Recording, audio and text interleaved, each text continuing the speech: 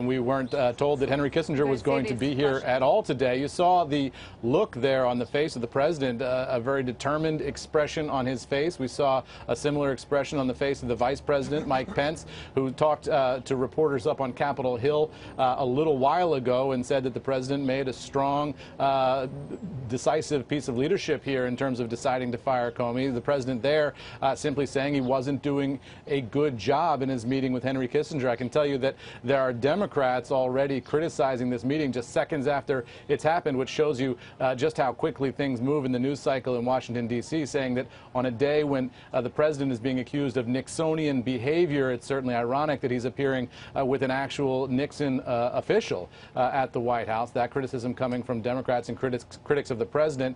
Uh, supporters of the president, though, saying that this was a long time coming and something that the president needed to do. This White House very defensive today about all this, and we'll see Sarah Huckabee Sanders, uh, the White House spokesperson, briefing reporters in the place of Sean Spicer later today uh, in the briefing room. And you can imagine that she will field uh, quite a few questions about all of this as well, Carl.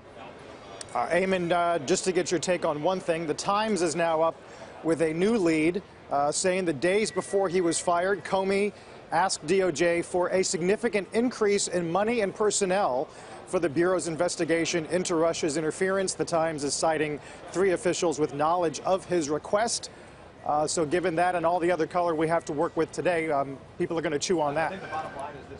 Yeah, I think that's right, Carl. I can't independently verify that reporting, but uh, clearly that would be evidence uh, that this investigation was picking up steam uh, and, and moving along in a way that the FBI director felt he needed more resources to make it happen. And that would be something that's of concern here at the White House. This White House doesn't believe there needs to be an investigation into any of this. They believe that there is simply no evidence of collusion between Donald Trump, his aides, uh, or anybody on the Trump team with the Russian government in terms of the 2016 election. So that would have been a concerning moment. But so far, at least, we are told uh, that uh, the White House is not necessarily certain whether or not Donald Trump uh, ordered this review by the Deputy Attorney General of FBI Director Comey's tenure. I asked Sarah Sanders that question at about 5 o'clock this morning, uh, and she told me she was not aware of whether or not the president ordered that review. So we've gotten some mixed signals here about where exactly this came from who ordered this review, what was the impetus for it, and why is it happening right now?